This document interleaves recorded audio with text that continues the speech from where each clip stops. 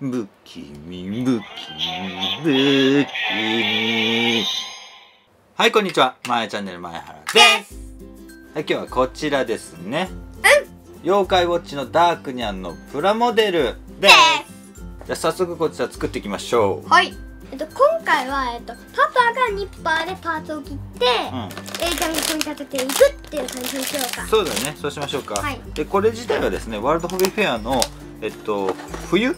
と夏で両方売られてたのでだから目新しいものではないねうん。あの今年の2016年1月だっけうん。かなんかにやってたワールドホビーフェア16のウィンターうんでも発売されたみたいです、はい。はい、じゃあ顔をあとこのパン組み立てます。こうやって、こうやってと。顔セット完了 B の1の1と2とはいどうぞはい。じゃあ、これをまず合体させて、まず、あシールの上にこれをさらにベルトをつけるんだね。これを合体させる。あ次は、体が完成した。B の1の5体のね、シール貼り終わったよ。体のシール貼り終わった。うん待って。これを体にくっつけてひとまず手と体は完成で次にこの体をさっき組み立てた足パーツをセット。あそうだね。よしよしセット完了。これがね最後になるんじゃないかなと思っているこれはねフーニャンの時と同じかな。あそうか。で頭つけて完了。完成。あでもあであとシールだね。シールだ、うん、土台の方パパ作っちゃうね。おなんか貼りやす土いな。台完成。早いね。土台の方はシールなし？うんえっ、とねないね。今までちょっと他にさ手とかのパーツはこの風にしまうんだよ不気味不気味不気味ダークニャン地獄に落ちにゃ完成しましたね、はい妖怪ウォッチのプラモデルは簡単だよねよかったよそれで、うんでねここの牙ついてんじゃんうんこの牙はねシールだっあたもともそうだねと色がついてたんじゃなくてシールだった。そうだね。顔系このここら辺は全部シールだね。うん。うん。でもシールも少なくてねよかったよね。ううん。えーこのですね今見えてるこの部分これ地球なんでしょ？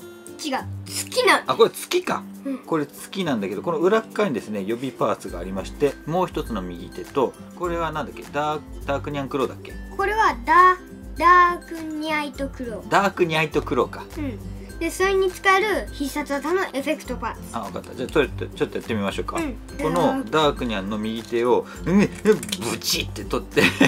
そこにこの手をセセッットす。るト。はい。そしたらこのダークニャイトクローをこのセット。はいこんな感じになりますね、はい。そうダークニャン顔こっち向けとこうか。おいやかっこいいじゃん。うん。いい感じになりました。これダークニャイトクロー。ジダークニャイトクロー。うん。かっこいいはい後ろ姿はこんな感じですね、ういいじゃん。ねん。でちょっとごめんね。うん。このエフェクトは外すけどうん。このままこうやって置くよ。ではプラモデルでしかできない特別モードにあなんかあんの？はい。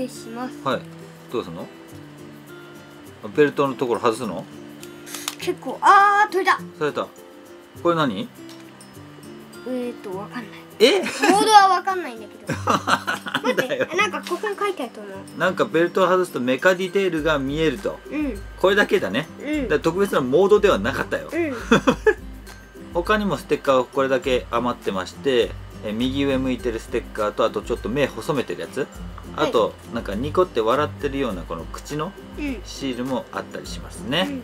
はいということで今回はワールドホビーフェア限定の妖怪ウォッチのプラモデルダークニャンでしたはいということで今日の動画いかがでしたでしょうか、い。久しぶりの妖怪ウォッチのプラモデルだね。はい。なんかね世間はポケモン GO で妖怪ウォッチ押され気味なんてうんちょっと今回作ってみました、ん。ちなみに我々もポケモン GO は結構やってます結構ポケモンゲットしてるしねあそうだね。結構ゲットしてますね、はいということで今日の動画がもしよかったなとか楽しかったなと思った方はぜひ高評価ボタンお願いします。そしてチャンネル登録をしていただくと YouTube のチャンネル登録の一覧にマイチャンネルが出てくるようになりますのでぜひチャンネル登録もお願いします。お願いします。そしてコメントもいただけると大変嬉しいですね。嬉しいですね。それとマイチャンネルでは？Twitter、Facebook ページ、Instagram もやってますのでぜひそちらのフォローもお願いします。はいお願いします、はい。えっとねここにモニターがあるのでちょっとね下こっちに見てるエイシン君の顔が違和感あったかもしれないですけどすいません。はい。ということで今回は以上でございます。バイバイ